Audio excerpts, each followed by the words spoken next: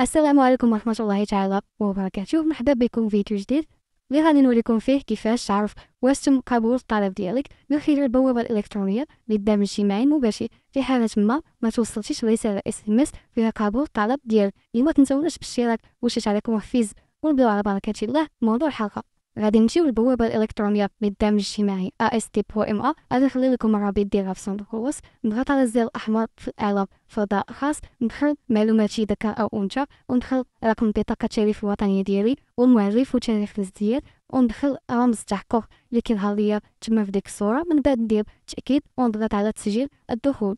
كيف ما كتشوفوا معايا في الأسفل في وضعية الطلب قبول إذا لقيتيها عرف بلي راك كتسوفي الشروط وراه تم القبول ديالك الاستفادة من الانترنت والناس اللي تسجلوا قبل 10 جنبي راح توصلوا برسالة القبول. وهذا الشيء هذا سبق لي في فيديوهات سابقة وزادوا حتى الناس اللي تسجلوا في 11 و 12 جنبي إذا الناس اللي لقاو قبول في وضعية الطلب غادي يستافدوا في نهاية دجنبر أو حتى الناس اللي توصلوا برسالة SMS والناس اللي تسجلوا من 10 دجنبر حتى الأواخر.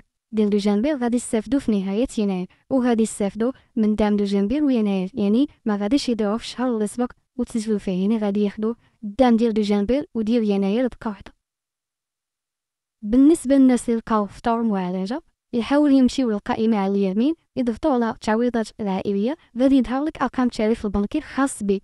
إلا ظهرت لك في مرحلة المعالجة مفعل اذا راه الأمور عندك غدا مزيان وعلى ما يرام لأنه من الأمور الاولى في معالجة الطلب. هي معالجة بيانات متعلقة بالحساب البنكي والمؤشر وهل يعني داك السيد كيساو فيه شروط للاستفادة أو ما كيساو فيهاش. واللي لقى مرفوض فراه غادي يتصلوا به فيما يخص الحساب البنكي غادي يتصلوا بك باش تدخل. تدخل يعني رقم التعريف البنكي ديالك يكون مزيان أو داك الحساب اللي عندك فراه ما خدامش يعني كان ديما ما فيهاش المهم تحاول تسوي الوضعية ديالك. واللي يواجه شي مشكلة اكتبها لنا في التعليق وكذلك الناس اللي عندها معلومات تقدر تفيدنا في التعاليق يعني تجاوب على الناس اللي كتكتب ليا آه، يعني الإشكالات ديالهم في التعاليق نتمنى أنني نكون كنفيدكم في الفيديو ديالي. نتمنى التوفيق للجميع والسلام عليكم ورحمة الله تعالى وبركاته.